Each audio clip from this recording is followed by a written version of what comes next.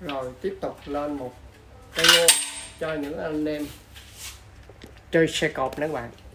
Một cây bô 70 70 lên xe, cánh án 78 cánh án. Đây C70 giấy C70 giấy. Những anh em nào mà đang sở hữu con xe cánh án mới hiểu cái bô này còn những anh em mà chưa có cái bô riêng này anh em sẽ không hiểu. Đây là một cây bô 70 các bạn. Một cây bô 70 tồn kho chưa gắn xe. Tồn kho chưa gắn xe. Siêu đẹp luôn nha. Nếu mà anh em mới nhìn qua, anh em nói ừ đây là cây bô sản xuất mới. Không phải các bạn. Nếu nhìn sơ qua nên sẽ tưởng là sản xuất mới. Nhưng mà không. Mình nói là cái bô này bốn mươi mấy năm. Thì chứng minh cho được bốn mươi mấy năm rồi nha các bạn trước tiên nè, coi cái độ đẹp của nó nè. Nó đẹp 98 phần trăm, có nghĩa là hai phần trăm, còn lại là nó chứng minh là 40 năm đó các bạn. Đó. Đẹp chưa? Nếu mà không cho các bạn sờ vào hiện vật, các bạn sẽ nghĩ nó là cây bô mới, chứ không phải là một cây bô theo xe mà chưa gắn lên xe. Bô tồn kho chưa gắn lên xe nha các bạn.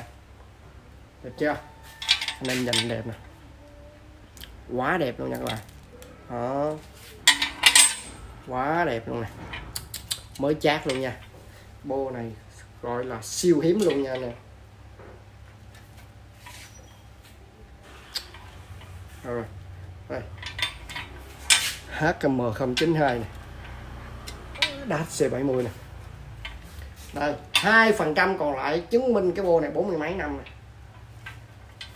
đây anh em nhìn thấy cái vết mè các bạn. Mè theo thời gian nó bị oxy hóa các bạn bị mè theo thời gian. Đó chỗ này nữa đó. Đây là cái điểm mà chỉ có là thời gian mấy chục năm nó mới tạo ra được cái này. Một hai năm nó không thể tạo ra được cái này các bạn. Đó. Để lâu ngày nó bị nổ nó bị nổ các bạn. Nó bị nổ. Đồ dinh hằng nhật á nó chỉ nổ thôi chứ nó không có xét nha. Ừ, cái đít nè đó nó nổ một xíu mà. Không nó nổ bạn những chỗ khác nó rất là đẹp. Cái cổ của nó nè. Đó. Cái cái vết sơn dấu nó vẫn còn các bạn. Đây cái cổ này nổ nữa nè. Để nó bị oxy hóa nó nổ mà, đó. Đấy.